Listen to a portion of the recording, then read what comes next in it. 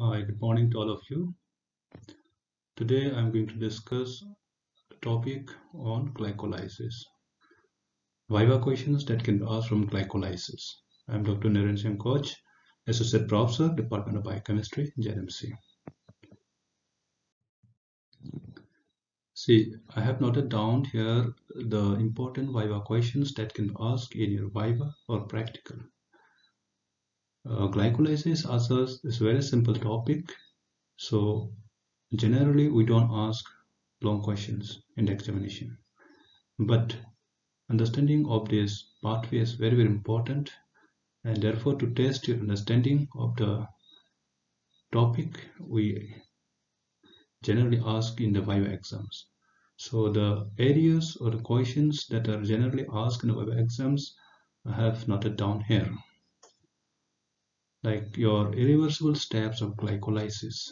So you should be able to tell what are the different irreversible steps of glycolysis. How many irreversible steps are there? You know there are three irreversible steps.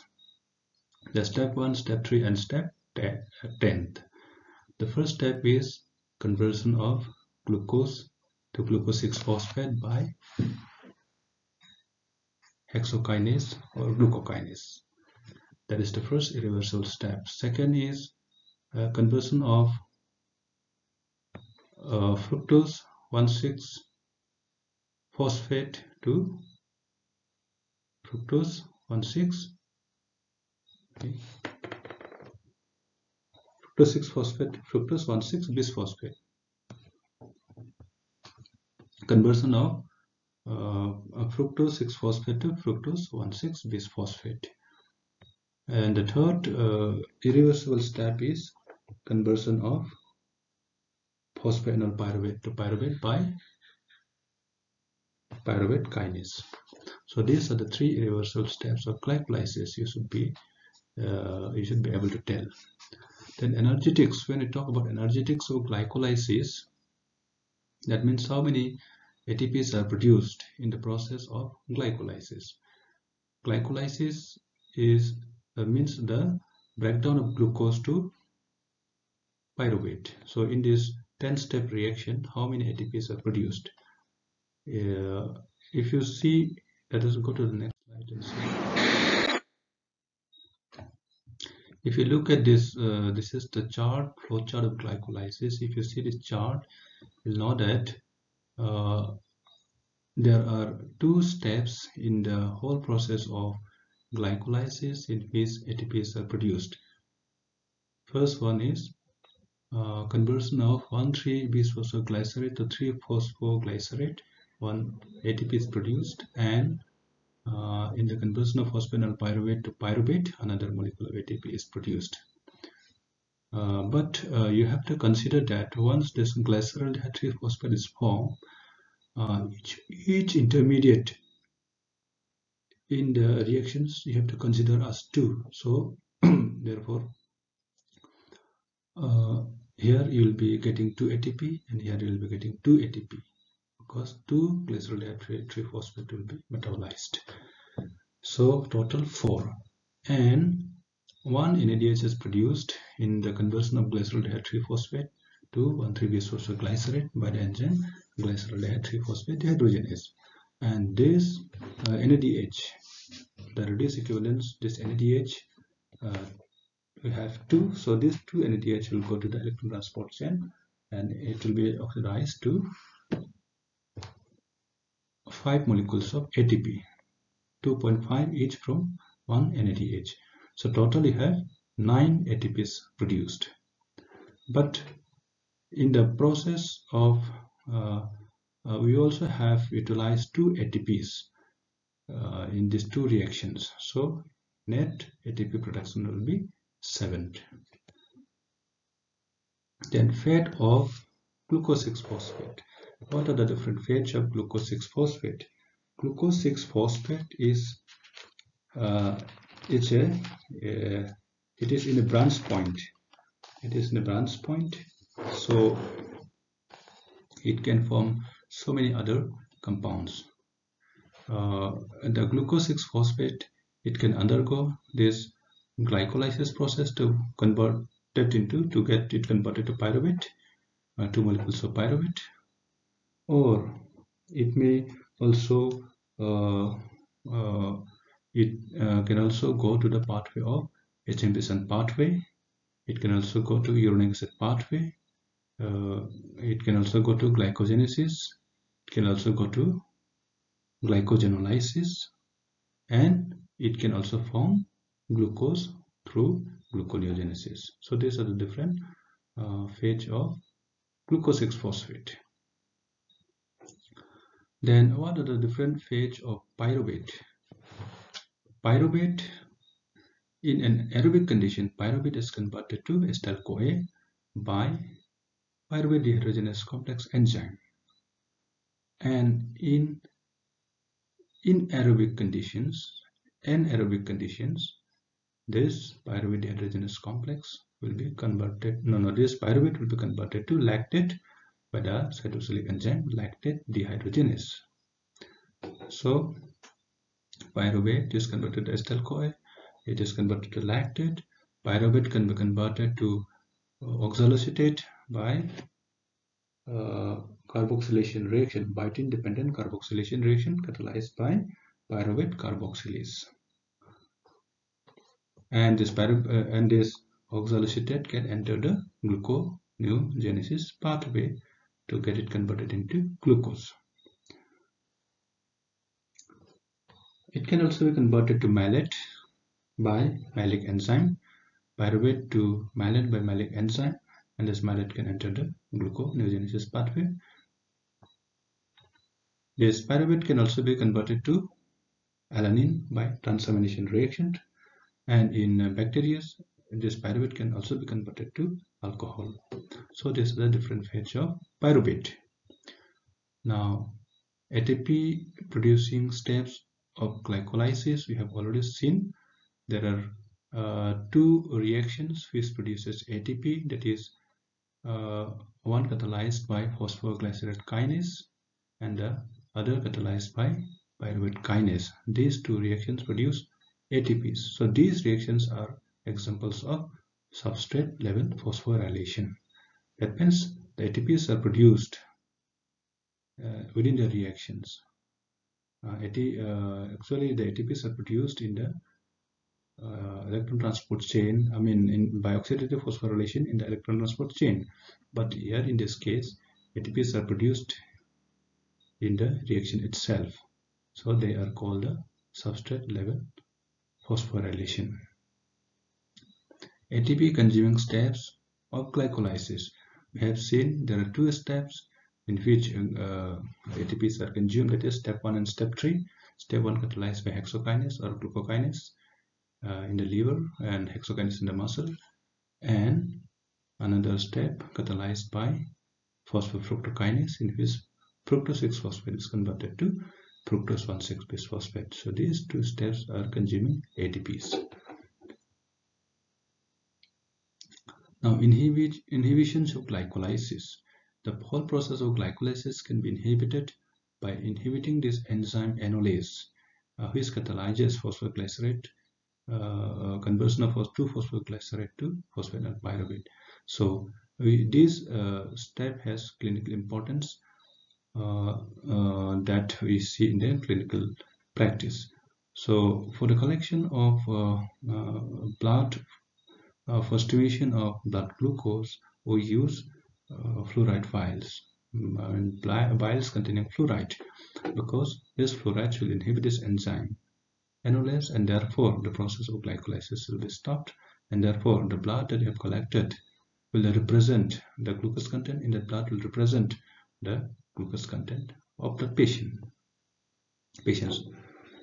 So now difference between hexokinase and glucokinase. What are the difference between hexokinase and glucokinase? Hexokinase and glucokinase these are the isozymes. Uh, hexokinase is seen in all the cells in the body, whereas glucokinase is seen only in the liver cells or hepatic cells. Uh, hexokinase is uh, non-specific uh, it, it is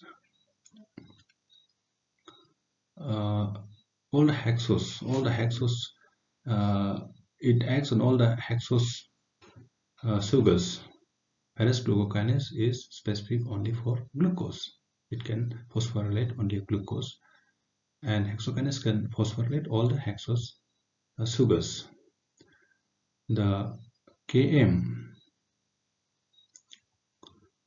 km of hexokinase is low. Which means that I mean the km of hexokinase for glucose is low. This means that it has got high affinity for glucose and therefore even in low concentration of glucose hexokinase will be saturated whereas glucokinase they have high km value this means that it has got low affinity for glucose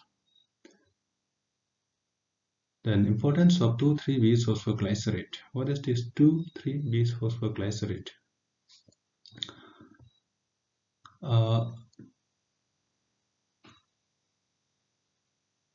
in certain conditions, like uh, adaptation to high altitude or uh, if the patient is anemic, uh, this 2,3-bis phosphoglycerate is produced from 1,3-bis phosphoglycerate by the enzyme